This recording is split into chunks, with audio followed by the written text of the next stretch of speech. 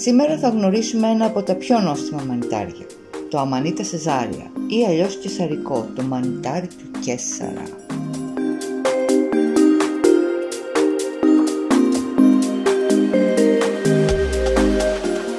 Το αμανίτα σεζάρια πήρε το όνομά του από τους Ρωμαίους Κέσσαρες που λάτρευαν τη γεύση του. Ο θρύλος λέει ότι η Αγρυπίνα, η γυναίκα του Κλάβδιου, δολοπλόκησε για να τον δηλητηριάσει, προσθέτοντας το θανατηφόρο αμανίτα φαλόιδες στο πιάτο του με τα καισαρικά. Έτσι ανέβασε στο θρόνο το γιο της Νέρονα από προηγούμενο γάμο της.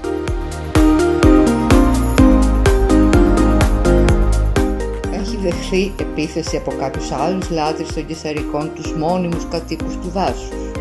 Αλλά είναι οκ. Θα καταλήξει στο τηγάνι μας.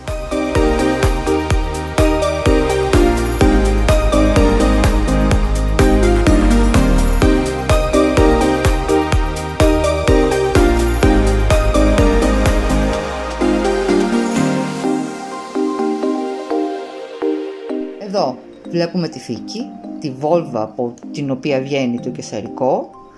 Ε, θέλει μεγάλη προσοχή όταν δεν έχει σκάσει ακόμα η βόλβα, είναι δηλαδή σαν αυγό γιατί μπορεί να μπερδευτεί με το θανητηφόρο αμανίτα φαλόιδες.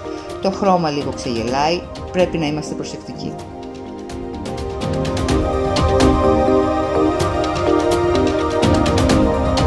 Αμανίτα Σεζάρια.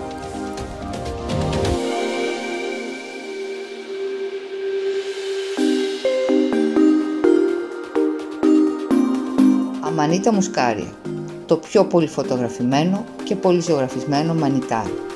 Αυτό που όλοι μας σκεφτόμαστε όταν ακούμε τη λέξη μανιτάρι, με ή χωρίς τροφάκια από κάτω. Αυτό είναι μουσκάρια. Δεν το μπερδεύουμε με κεσαρικό.